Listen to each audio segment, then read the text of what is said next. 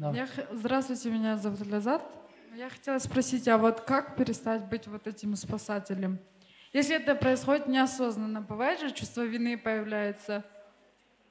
Смотри, ты задаешь вопрос, ты уже осознала по-любому, что у тебя с этим проблема. Да. Теперь тебе надо просто это отслеживать, и в момент, когда ты хочешь кого-то спасти, сядь и молчи. А чувство, что... Ничего не надо, надо, это надо перебороть себя, надо поломать. А, будешь сидеть и ждать, когда тебя попросят. Когда попросят, тогда уже помогай, если хочешь. Вообще, для всех вот спасателей, вы можете, знаете, что сделать? Я в течение месяца не помогать никому ничем.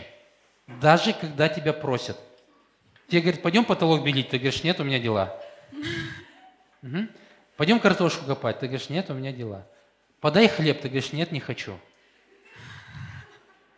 А, Первая проблема у всех, что если я откажу, то меня все бросят.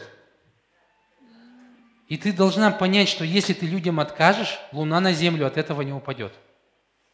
Ничего не произойдет в твоей жизни, и друзей в твоей жизни меньше не станет, если ты научишься им отказывать. Или начнешь просто. Вот. Поэтому ну, просто сядь и отказывай.